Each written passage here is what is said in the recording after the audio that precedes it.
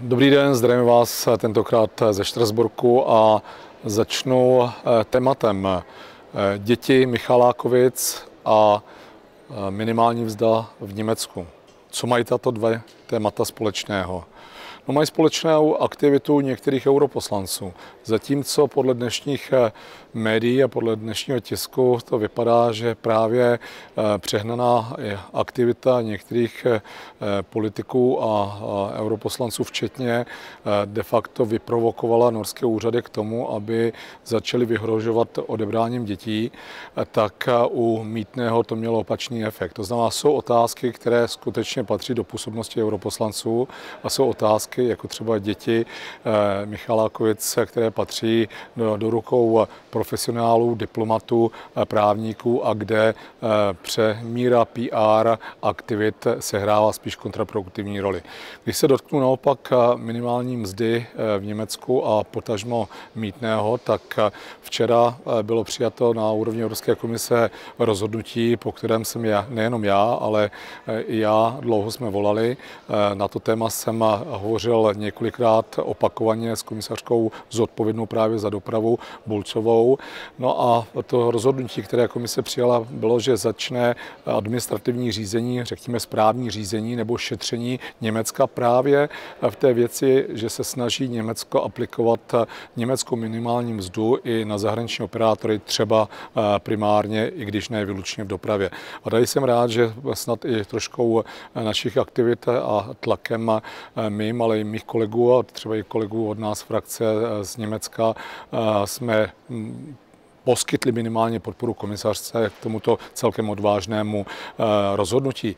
Takže uvidíme, jak Německo se s tímto vypořádá. Má dva měsíce na to, aby zareagoval. To je jedno téma, které jednoznačně z mého pohledu má protekcionistický charakter, ale to druhé téma eh, se týká zavedení mítného, respektive mítného a určité kompenzace pro německé občany. Eh, mítné samozřejmě si může zavést kdokoliv, ale nemůže kompenzovat v přímé vazbě své občany a tím diskriminovat diskriminovat občany eh, cizí anebo eh, prostě cizí eh, fyzické a právní subjekty. Takže z tohoto hlediska já doufám, že komise v příštích týdnech najde stejnou odvahu a tady skutečně hovořím o odvaze, protože to není jednoduché řešení, aby spustila takzvané ty infringement procedures nebo teda to správní řízení i v této otázce. Byť tady bych řekl, že to je poněkud složitější. Takže to je jedno téma. Rád bych se ještě dotkl tématu, který jsme minulý eh, vlastně ne minulý, ale shodou okolností dokonce včera zaregistrovali na půdě Evropského parlamentu.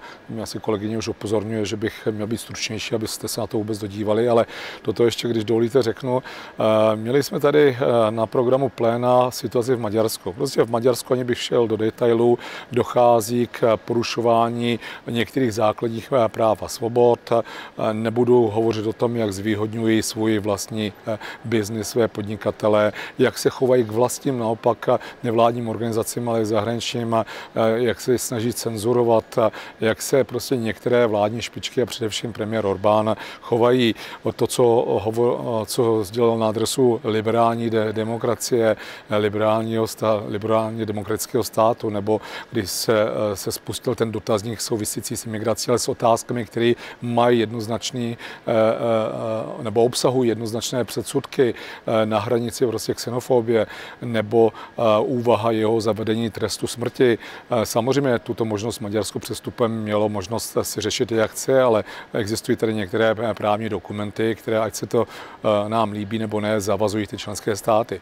Měli jsme tady premiéra Orbána a já musím říct, že dlouho jsem se nesetkal s takovým pohrdáním některých základních principů.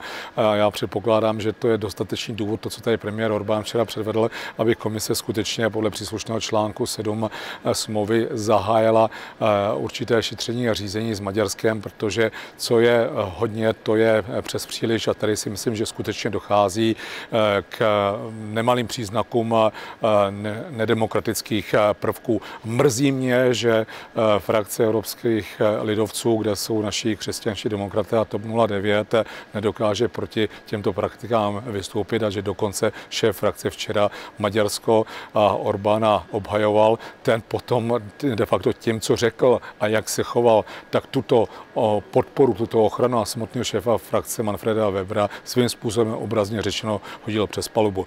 A úplně poslední, administrativní zátěž, byrokracie, kvalita norem, o tom jsem už se zmiňoval několikrát, tak nejenom, že teda frakce přijala ten můj návrh, ale už podle toho jedeme, jednáma s frakcemi, které jsou, myslím, naladěny podobně jako ta naše, k přijetí jasných a, a efektivních opatření. Poté, co komise včera s proměnutím vylezla se svým návrhem, který je jednoznačně nedostatečný. A jsem rád, že ty frakce, se kterými jsem se dneska sešel, byly, byly to dvě, do detailů v tuto chvíli z taktických důvodů nepůjdu, takže do značné míry tento návrh společného dokumentu podporují a velmi brzy si myslím, že budeme schopni se domluvit snad na společném textu, se kterým bychom potom šli na půdu plenárského parlamentu a vytvářeli tlak na komisi, abychom byli v tomto směru ambicioznější a přinesli odpovídající výsledky ty, které čekají naši podnikatelé, ale i vy občané, studenti, prostě instituce.